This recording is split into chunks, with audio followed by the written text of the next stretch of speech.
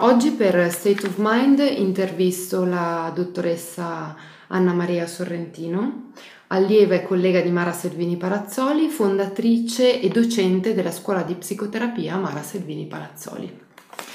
Grazie per aver accettato di fare questa intervista e iniziamo con la prima domanda, che è quella relativa ai principi teorici e clinici che ritiene irrinunciabili o diciamo fondanti nel suo lavoro con i pazienti. Qui questa mia diciamo, appartenenza al flusso di pensiero di Mara Selvini comporta che eh, la sintesi che lei ha operato sul piano scientifico tra una mm, diciamo, attenzione all'individuo e successivamente un'attenzione alla famiglia, in me sia stato caratterizzante di un percorso al contrario, perché io l'ho conosciuta nel momento in cui lei si rivolgeva all'ambito familiare e ho recuperato poi mm, nella mia personale formazione e anche nel rapporto con lei ciò che era l'attenzione alla soggettività. Eh, tra me e Mara ci sono 30 anni e questa è la spiegazione di, di questo processo. Io ho conosciuto appunto Mara nel 69-70, proprio all'epoca del suo viraggio da una carriera già molto affermata di psicanalista a una attenzione alla dimensione familiare. L'attenzione alla dimensione familiare ha richiesto per lei e quindi ha proposto a me un capovolgimento delle, di tipo epistemologico, cioè eh, l'individuo è stato come messo tra parentesi ed è stato eh, messo a fuoco principalmente il discorso interazionale, cioè come l'individuo risponde nella relazione ed è influenzato dalla relazione eh, con tutto il periodo dell'apertura e della fondazione della posizione sistemica. A differenza di altre dimensioni sistemiche, noi come gruppo nel processo di approfondimento di quali erano i nostri criteri guida, poi ci siamo, dico sempre noi perché nessun, la mia vita non è mai stata solitaria, è sempre stata in un'equipe.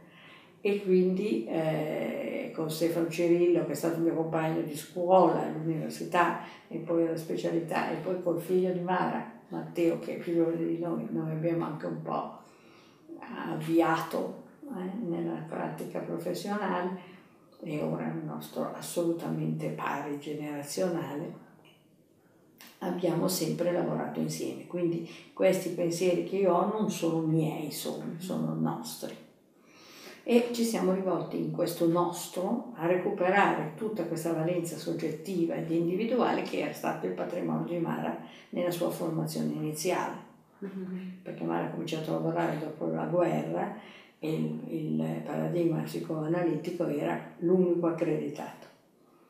E quindi abbiamo fatto questo lavoro, non nel senso che siamo diventati psicanalisti, ma nel senso che l'attenzione alla soggettività è diventata importante alla soggettività del terapeuta e alla soggettività dei suoi interlocutori.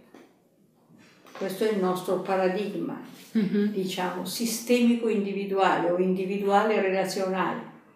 Può essere un pochino più specifica rispetto a eh, eh, come viene utilizzato poi questo concetto di intersoggettività e di soggettività poi nella clinica. Nel senso che io mi sento quando incontro una famiglia operazioni che faccio abitualmente, mi sento un soggetto, come il perno di una ruota, mm-hmm. che mette a fuoco i vari interlocutori, ma che è attento al fatto che sono una ruota mm-hmm. e che quindi la direzione che prenderanno i raggi dipenderà dal movimento dell'insieme.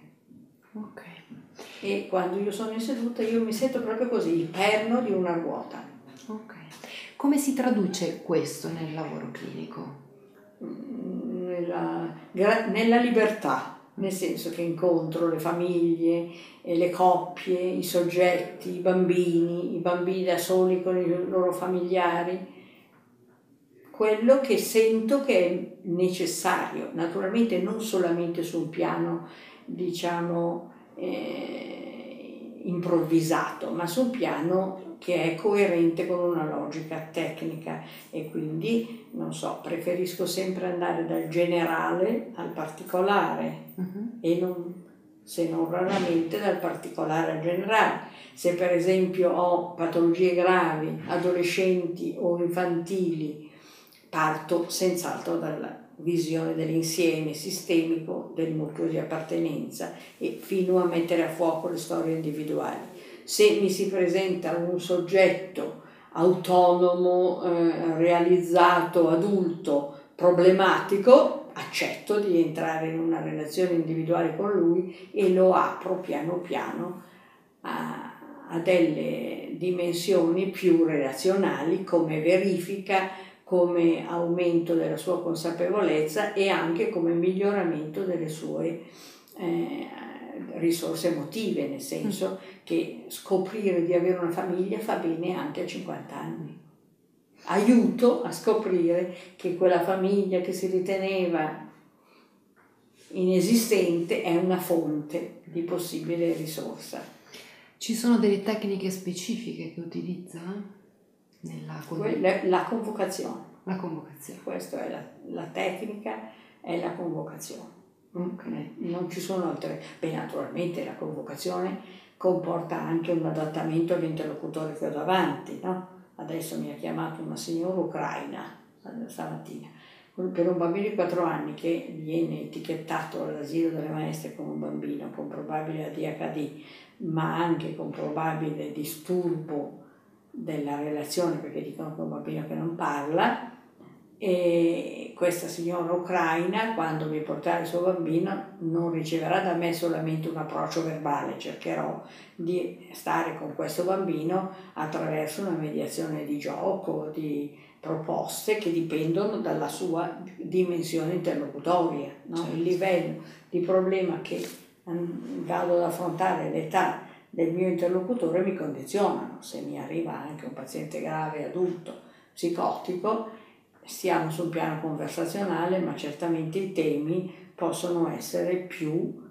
concreti, contingenti, realistici per aiutarlo a darmi notizia di sé, no? anche del suo delirio se non c'è altro, mm-hmm. che a disposizione è un modo con cui starò con lui per conoscerlo. No? Okay. Eh, il cambiamento, come lo monitora, come lo valuta? Se ci sono delle noi una, riceviamo una domanda di terapia, mm. la domanda viene formulata in modo da, da dover essere tradotta in obiettivi. E quindi noi valutiamo il cambiamento sul piano del, della modificazione degli assetti per cui siamo stati consultati, mm-hmm. che sono gli assetti sintomatici per lo più, ma anche noi abbiamo dei criteri attraverso cui attribuiamo la dimensione sintomatica a una dimensione strutturale e quindi cerchiamo di lavorare anche sulla dimensione strutturale. In questo si è sottovalutato, secondo me, il grande contributo dell'epoca paradossale. L'epoca paradossale, che è stata un'epoca della prima terapia familiare, aveva la caratteristica di provocare il paziente. Il, la provocazione del paziente mostrava, cioè tendeva ad intaccare contemporaneamente il piano sintomatico, ma anche il piano dei pensieri del paziente, cioè il piano strutturale, non il lungo allevamento di un altro carattere, ma la, diciamo, l'attacco ai, ai, criteri di giudizio che il paziente aveva sulle relazioni. Uh-huh. No, lui aveva l'impressione di essere, poniamo, eh, una, un castigo, una, un'aggressione, una vendetta, di stare agendo delle azioni rivendicative e invece gli si mostrava l'utilizzo che il sistema familiare faceva delle sue azioni rivendicative, no? mostrando proprio che i suoi pensieri dovevano essere rivisitati. Quindi c'è sempre questo aspetto, l'aspetto del sintomo e l'aspetto della struttura che regge il sintomo, che può essere anche opposta, cioè lo stesso sintomo, noi ci siamo occupati tante volte di disturbo alimentare, perché questa era la matrice di Mara, lo stesso sintomo, un digiuno, può, essere, eh, può avere delle radici molto diverse. Il tentativo di dire io di una giovane dipendente da sua madre, che si differenzia solo perché mangia solo le zucchine e, e, per il resto fa tutto come sua mamma, si veste come sua mamma, pensa come sua mamma, agisce come sua mamma mm? e l'unico modo in cui dice io sono le zucchine. E ci può essere invece un digiuno che è il segno di una um, costruzione, di un'immagine idealizzata di sé. Io sono una, una creatura speciale che posso fare a meno del cibo e quindi sono superiore alle regole che la comunità si dà e che il mio corpo stesso si dà. Chiaramente prendere in carico queste due ragazzette non è la stessa cosa. Certo. Eh la chiusura della terapia. Uh, C'è un concetto strano per me, secondo me le terapie si interrompono ma non si chiudono, nel senso che le persone, io per esempio lavoro da 40 euro e appunto io sono queste famiglie che eh, sono venute perché avevano, poniamo, un conflitto di coppia, abbiamo fatto qualcosa, poi sono venute per la tossicodipendenza di un figlio poi sono venuto per la crisi coniugale di un figlio. Non so quando è finita, quando moriamo è finita, perché diventiamo in qualche modo, come è giusto in alcuni casi, anche delle figure che accompagnano la vita. Mm, io mi sono occupata di disabilità, beh, mi sono occupata e le persone sanno che se sono nei guai mi contattano quindi questo concetto di finire è quando abbiamo ottenuto degli obiettivi, li abbiamo ottenuti. Se dopo la vita ci pone degli altri eh, interrogativi, è chiaro che noi siamo depositari di una lunga storia, di molte vicende condivise ed è, sarebbe insensato rivolgersi a qualcun altro, no? dovendoli raccontare tutto da capo, perché c'è un filo nella nostra vita. Per cui il terapeuta che accompagna il ciclo di vita del paziente, ma anche sì, più generazioni a volte. Ah sì, certo, per più generazioni. Uno dei bambini è anche sull'asse di pari generazioni. Per esempio uno dei bambini autistici di cui mi sono occupata negli anni Ottanta, sua madre ha una sorella che ora ha una figlia con un ritiro importante, una ragazza con una laurea in ingegneria brillantissima che non, non scambia parola con nessun altro essere umano, tranne che con i libri e i professori per l'esame, quando sono stati molto in pensiero, me l'hanno mandata. Certo. Perché io so ha già una memoria storica. Ho una memoria anche della vita di sua madre, oltre che di quella di sua zia, pure la vita dei suoi nonni materni. È bello questo, è una cosa naturale. Poi naturalmente invece non è che fanno tutti così, se no sarebbe anche da noi. Ci sono nuovi ingressi, eh, terapie della soggettività piuttosto rapide che funzionano bene, dopo non, non ci sono riprese, no? dipende anche dall'importanza. No? I rami familiari sono più coinvolti nella patologia grave mm. e quindi ci, spesso abbiamo dei ritorni di fiamma. Mm. Ok, il paziente difficile, come ritiene che si modifichino le sue tecniche o procedure con questo tipo di paziente? Anche se in realtà la sistema Noi abbiamo solo ecco, esatto. pazienti difficili e quindi non abbiamo, rarissimamente abbiamo pazienti da studio psicoanalitico, anzi anche se adesso la psicanalisi si occupa di psicosi più di quanto non facesse in passato. Mm. Ma raramente noi abbiamo persone che vengono con le loro gambe, noi di solito abbiamo persone che vengono con una pressione dell'ambiente, cioè l'ambiente che si attiva per ottenere una presa in carico. perché per quel che riguarda i tipi di pazienti che arrivano qua, spessissimo sono non richiedenti. Mm. Abbiamo raramente dei raramente non è neanche la cosa giusta, abbiamo ragazzi che poi diventano richiedenti, adulti che vengono come richiedenti ma non sono in grado di sopportare un processo terapeutico e de- devono essere diciamo fiancheggiati dalle loro risorse di tipo familiare, no? Che, dove l'asse principale è una terapia individuale, ma i supporti che vengono dalla loro rete affettiva diventano importanti per ottenere una continuità sufficiente, perché sono pazienti che stanno magari male, in certi periodi tendono a scomparire, no? quindi mm-hmm. che possono essere incoraggiati a proseguire è una cosa importante. Poi naturalmente abbiamo anche pazienti che ci chiedono una consulenza ordinaria come potremmo essere io e lei, o allievi della scuola, però non sono il target abituale, anche se sono un target che noi sia, abbiamo modelli in grado di trattare. Sì, sì. La terapia individuale sistemica quando e quanto può prescindere secondo lei dal coinvolgimento dei familiari significativi? Eh, può prescindere, no, cioè qualche volta il familiare è necessario, qualche volta è un aiuto, qualche volta è un testimone, è sempre utile perché offre al paziente e al terapeuta un punto di vista interessante. Per esempio noi anche come avrà già detto Matteo, nella scuola per, i, ehm, per gli allievi facciamo questa giornata multifamiliare in cui tutti gli allievi di un gruppo vengono con i loro genitori e sono giornate sempre, naturalmente non sono necessarie, gli allievi sono in grado di raccontarceli i loro genitori, ma essere insieme e mostrarli gli uni agli altri e a noi eh, terapeuti è un'esperienza costruttiva, sempre.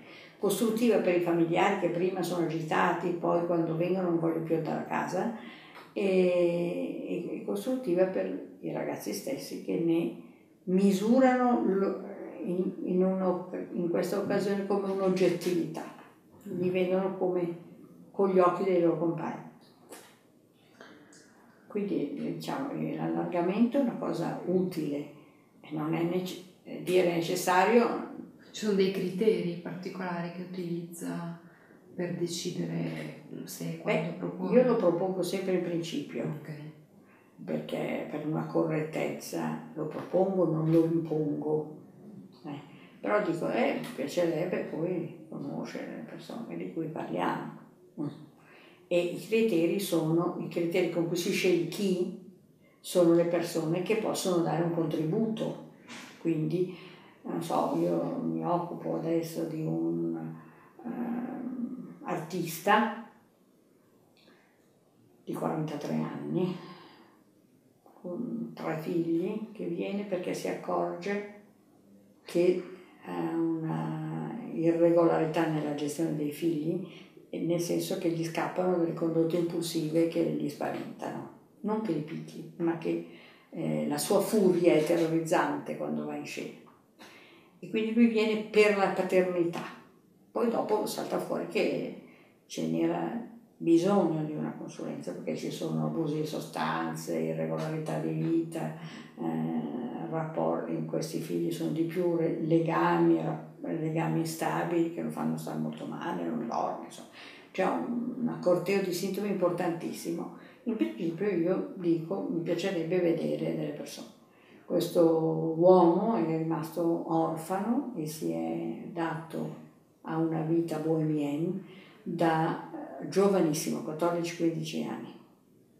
E non sa niente, non ha ricordi del passato, che ha ci sono dei nuclei traumatici che viaggiano e quindi anche eh, c'è una perdita di memoria ret- eh, retroattiva di matrice traumatica e quindi chi, quando, come le sue donne sono volage, no? I suoi bambini sono piccoli, anche se i suoi bambini sono stati degli odori testimoni, io li ho visti tutti con le loro madri e eh, per vedere come, per far vedere a lui come loro lo vedono. Mm ed è stato un passaggio utile. Poi c'era un bisogno anche di una testimonianza del passato che lui non ricorda e abbiamo preso contatti con gli anziani parenti di sua madre, una sorella di sua madre, che ci ha detto degli importanti contenuti che lo hanno anche aiutato a ripescare un senso di ciò che gli accade.